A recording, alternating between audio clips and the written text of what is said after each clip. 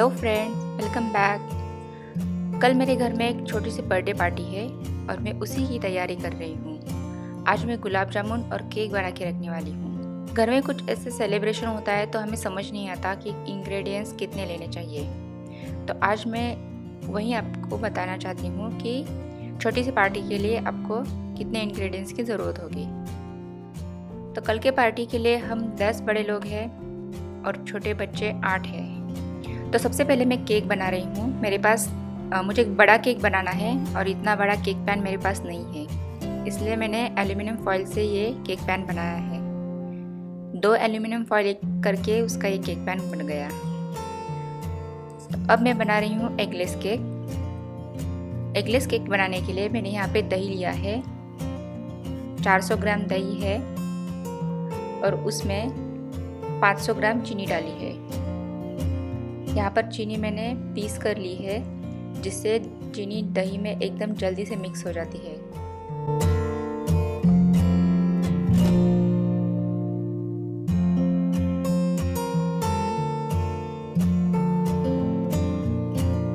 अब यहाँ पर मैं डाल रही हूँ तेल। 300 ग्राम तेल लिया है यहाँ पर मैंने। ये सनफ्लावर ऑयल है। और थोड़ा सा वनीला इसेंस भी डाला है यहाँ पर। एगलेस केक में मैं बटर नहीं डालती। तेल ही डालती हूँ। अब ये अच्छे से मिक्स हो गया। अब इसमें मैं ये मैदा डाल रही हूँ। मैदा मैंने 600 ग्राम लिया है और मैदे में ही मैंने एक टेबलस्पून बेकिंग पाउडर डाली है और आधा टेबलस्पून बेकिंग सोडा डाला है। अब इन सबको मैं अच्छे से मिक्स कर लूँगी। स्पून से अच्छे से मिक्स नहीं होता। इसलिए 30 टू 40 सेकंड के लिए हैंड मिक्सर से मैं इसे मिक्स कर लेती हूँ। इससे ज़्यादा नहीं मिक्स करना।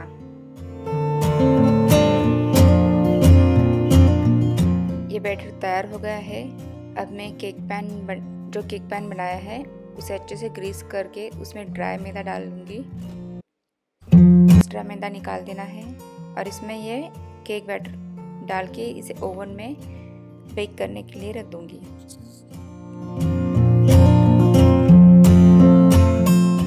ये केक बेक होने में 35 मिनट्स लगे थे।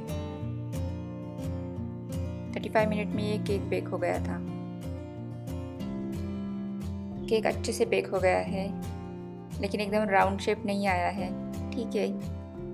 क्रीम लगाते समय उसे राउंड कर देंगे।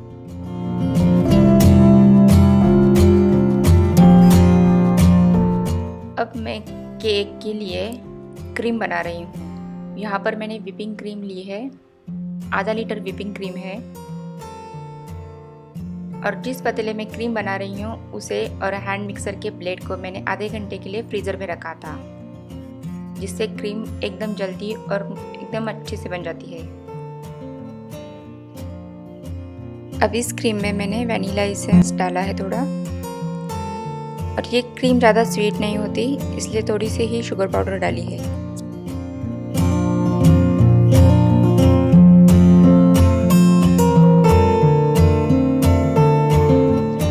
अब हैंड मिक्सर को एकदम हाई स्पीड पर रखूँगी,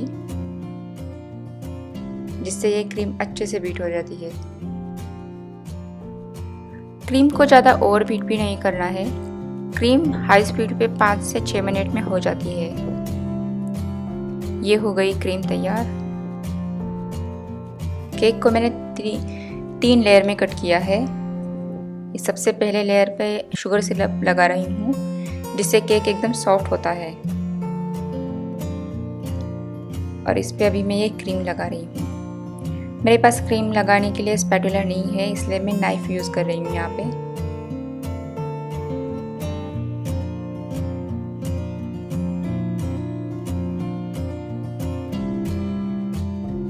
मैंने केक बनाना ऐसे ही वीडियो देख देख के सीखा है। मैं कोई एक्सपर्ट नहीं हूँ केक में। कई बार केक बना के देखने के बाद अब मैं थोड़ा बहुत तो अच्छे से केक बना लेती हूँ।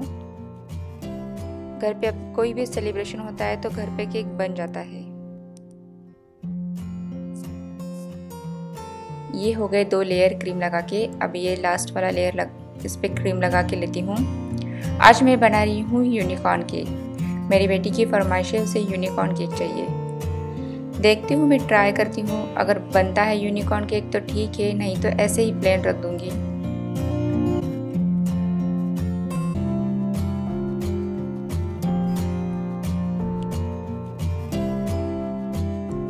ये होगा एक लेयर अब मैं इसे फ्रिज में सेट होने के लिए रखती हूँ। और दो घंटे बाद उस पर दूसरा लेयर लगा के लेती हूँ।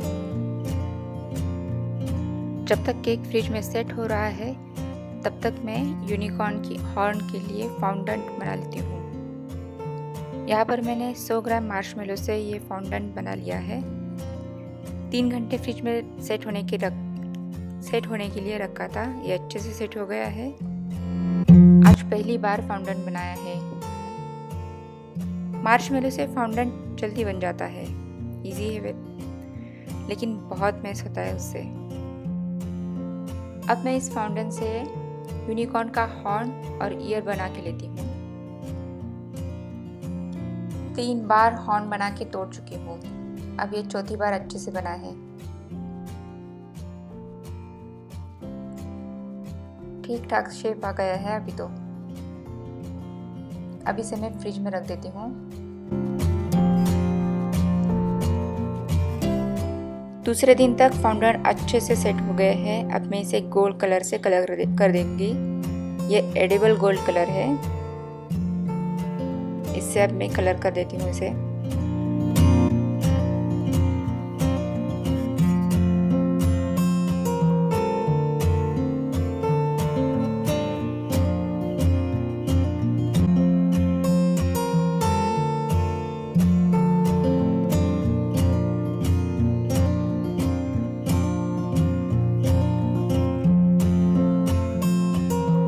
गए तैयार, अब केक डेकोरेट करने लेती हूँ। यहाँ पर मैंने क्रीम में पिंक और पर्पल कलर एक साथ मिक्स किए हैं और उसी से ये फ्लावर बना रही हूँ। और यहाँ पर मेरी बेटी मुझे बता रही है कि यहाँ पर ऐसा फ्लावर चाहिए, वैसा फ्लावर बनाओ यहाँ से डिज़ाइन आनी चाहिए। बहुत एक्साइटेड है वो। उसी ने ज़िद की थी, यूनिकॉर्न केक चाहिए, इसलिए ये मैंने बना के देखा। लेकिन अच्छे से बन गया। बच्चों के लिए हम मम्मी लोग क्या नहीं करते। लेकिन इससे बहुत कुछ सीखने को भी मिलता है। ये बन गया यूनिकॉर्न केक तैयार। इसके आइस बनाने के लिए मैंने डार्क चॉकलेट ली है। डार्क चॉकलेट को मेल्ट करके उसे एक पाइपिंग बैग में भर के उससे आइस बनाए और उसे फ्रिज में रख दिया थोड़ी देर हार्ड होने के लिए। उसके बाद उसे केक पर लगाया। अब मैंने गुलाब जामुन बनाने के लिए लिए हैं। उसके लिए मैं यहाँ चाशनी बना रही हूँ। चाशनी बनाने के लिए मैंने 800 एम पानी लिया है और उसमें 500 ग्राम चीनी डाली है। चाशनी में थोड़ी ज़्यादा ही बनाने वाली हूँ क्योंकि बच्चों को चाशनी पीने में बहुत मज़ा आता है। यहाँ पर मैं गिट्स के गुलाब जामुन बना रही हूँ, जो एकदम जल्दी बन जाते हैं। 200 ग्राम का एक पैकेट लिया है, इससे 40 गुलाब जामुन बने थे। अब इस आटे को अच्छे से गूँथ लेना है। और आटा एकदम सॉफ्ट भी नहीं करना, नहीं तो गुलाब जामुन अच्छे से नहीं बनेंगे। गुलाब जामुन छोटे छोटे ही बनाना है, क्योंकि वो फ्राई करने के बाद और चाशनी में डालने के बाद और बड़े हो जाते हैं। और उस पर एक भी क्रैक नहीं होना चाहिए, तभी ये अच्छा गुलाब जामुन बनेगा।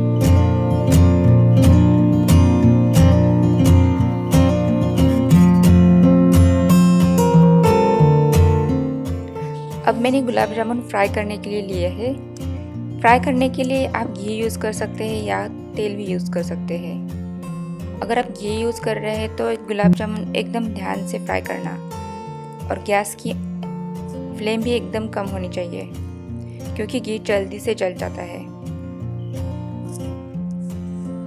यहाँ पर मैं एकदम धीमी आँच पर ही गुलाब जामुन फ्राई कर रही हूँ।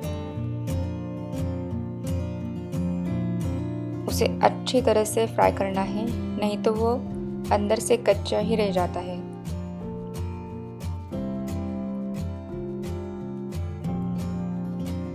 इसे अच्छा ब्राउन कलर कर देती हूँ। अभी ये डार्क ब्राउन दिख रहा है, लेकिन चाशनी में डालने के बाद ये कलर बहुत अच्छा दिखेगा।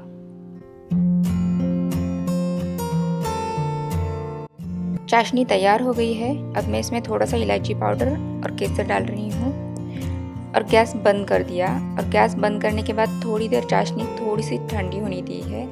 पूरी ठंडी नहीं करनी, लेकिन थोड़ा सा ठंडा करना है। उसके बाद में ही उसमें गुलाब जामुन डालना है। अगर चाशनी बॉयल होते वक्त उसमें गुलाब जामुन डाल देंगे तो वो पूरे गल जाएँगे। इसलिए गैस बंद करके उसमें गुलाब जामुन डालना है। अब ये कल तक अच्छे से तैयार हो जाएँगे। दूसरे दिन तक गुलाब जामुन, सारी चाशनी सोख लेते हैं और साइज़ में और बड़े हो जाते हैं। यहाँ पर मैंने थोड़े से बादाम डाले हैं इसमें। तो अब ये वीडियो यही ख़त्म होता है। मिलते हैं हमारे कल की वीडियो में, जिसमें हम देखते हैं डिनर की तैयारी कैसी करनी है। तब तक के लिए बाय एंड टेक केयर